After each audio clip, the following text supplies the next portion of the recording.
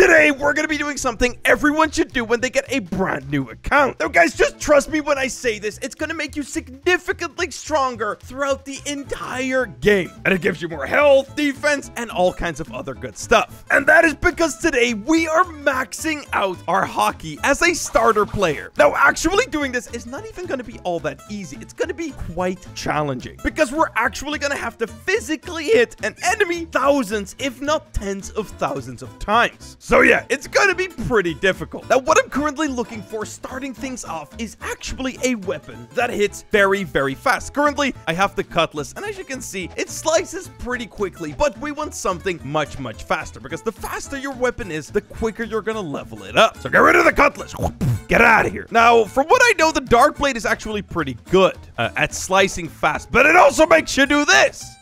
I don't want to be doing that. I, I want to just be standing still, dealing a bunch of damage. So actually, Dark Blade, get the heck out of here. Get out of here, idiot. We're going to need something a little bit different. So yeah, we're going to have to hunt the world for the best starter item to actually do this. Now, for anyone wondering why I actually have the Magma Fruit right now, it's because just a minute ago, I rolled it with the Blox Fruits dealer cousin. Because actually, for this video, a Logia type fruit is going to help you significantly. So guys, we're going to start off at the starter island because that is the first place you can actually buy a weapon. All right, let's let's see what we got right here. Sword dealer. We got the cutlass already. So let's get the katana. I already own it. Oh my god. Now from my memory, I think the katana might actually hit slightly faster. So let's try it out. It might be a little bit faster. For now, I'll stick with it. It's fine. But honestly, I think we can do better than that. All right, let's see. What do we have right here? So here's a sword dealer. So let's see. Dual katana. It's 12k. Ugh. Here, let's just buy it. Let's try it out. Okay, so it's not hitting any faster, guys. It doesn't count two swords as like hitting faster. Okay, let's just let's just keep it straight straight here, okay? These are just single hits. It's exactly as fast as a regular katana. Honestly, the triple katana might be really fast. Let's get ourselves a triple katana just to have a look. All right, Mr. Sword Dealer, let's see. We can get the pipe or the triple katana, but I have a feeling that the triple katana will be pretty fast. So let's try it out. Wait, no, we can't even use it. It makes us move forward. Ah! Okay, dual katana it is. Yeah, guys, the triple katana was a huge waste of money. So the dual katana it is. All right, then now it's about time that we're gonna have to make a big decision. So to do this glitch, or it's not really a glitch, it's mostly just a little bit of a trick. Um, to do this, it is the easiest in a private server. Now, it's possible to do in a public server, but in general, it's not advised because you can be killed. And if you are killed, uh, yeah, you're gonna just restart the whole process. Now, something you can do is actually do this in a PvP safe zone, like maybe the starter island. There's a couple others where there's enemies, and it's also a PvP safe zone. So it is possible, but I'd recommend just doing it in a private server because it just makes things 10 times easier. Alrighty, boys, here we are. Now, now what we're gonna be doing next up is we're gonna be finding a group of enemies that is very close together, but cannot hurt us with our Logia abilities. Now, let's be honest here. Most of you guys should already have Logia powers in the first sea because it's by far the best here. So let's see, can these guys hurt me?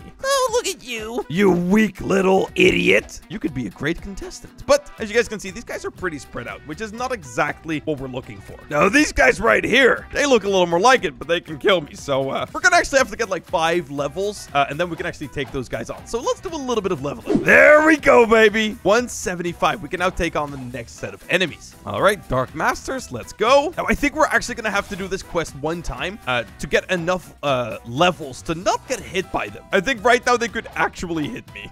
there it is, baby. We should now be safe. so with that, it's about time that we start the process of gaining full body Haki. So I think these two guys right here, they are by far the closest together. So let's see. I hope that hits him. Oh, it does. Oh, this is amazing. So yeah, guys, if we now just stand here spamming, as you guys can see, we're not doing a lot of damage, but every single time we hit one of these guys, it counts towards one point for our full body Haki because we are punching them with, an, with a Haki embedded sword. Now, there are a couple rules to this. So for instance, if I hit them like this with my special powers, that doesn't count as a Haki point. It has to be a sword or your fists. So yeah, guys, what I'm to do right now is I'm to just start a little bit of a macro, which is nothing too crazy. It's just an auto clicker to just auto click punching one guy over and over and over again. And I'm to go to bed now. I'm just to see what I get to in the morning. I'm just to stand right here doing this for a very long time. All right, guys, I'll see you guys tomorrow morning.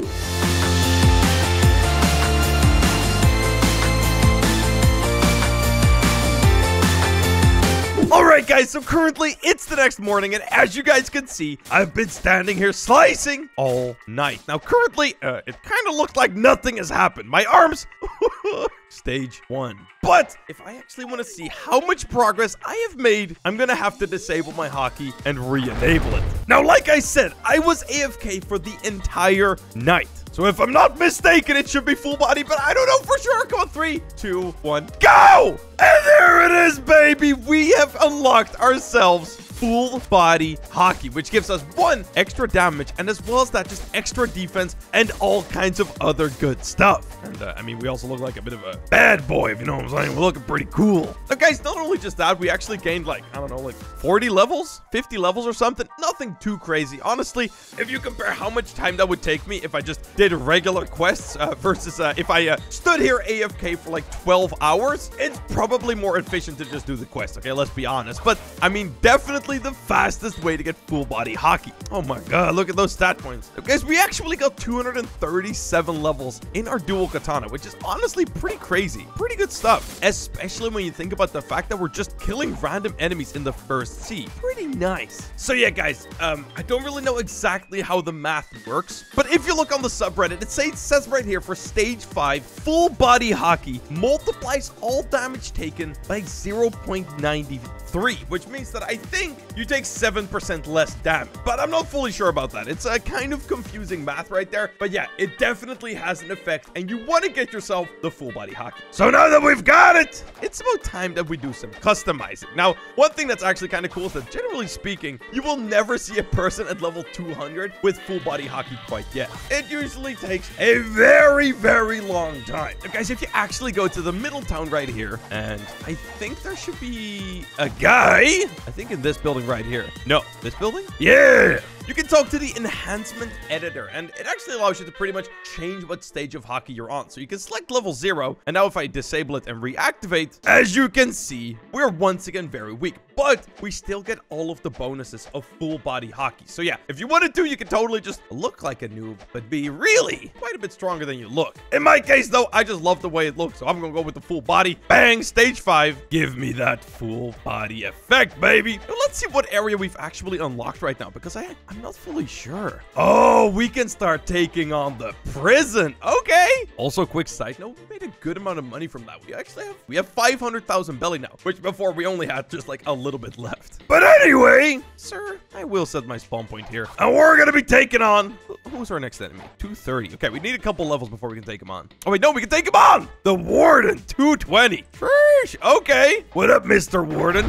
It is about your time to die. I'm glad we actually got ourselves the magma fruit because it is by far one of my favorite, especially when you get it awakened. It just becomes whew, really good. And there it is, baby. It's your time to die. Come on, give me 230. Well, that's fine, guys. In the next video, we're going to continue from where we left off. But yeah, guys, with that, I'm ending off today's video. If you haven't already, please do this while you're in the first seat. And also subscribe to the channel if you haven't already, guys. I'll see you later, boys. Peace!